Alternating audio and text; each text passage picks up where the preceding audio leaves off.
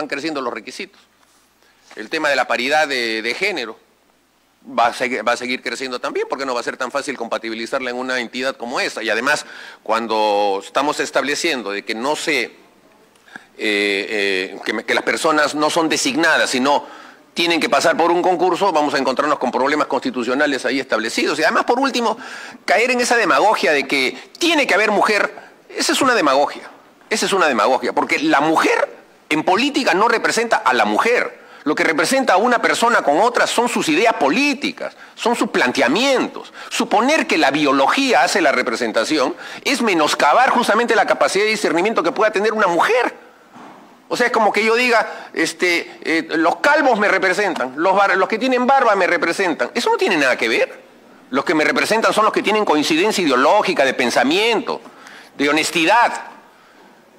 Y la, mayoría de mujeres que hablan de, de, poner mujeres a la hora de las determinaciones de si votan por una mujer o votan por un hombre, a ver, no es que voten por una mujer solamente porque es mujer. Yo le preguntaría a los congresistas del Frente Amplio si en la segunda vuelta votaron por Kenji, eh, por Keiko Fujimori, que es mujer, con respecto al señor Pedro Pablo Kuczynski, que es hombre.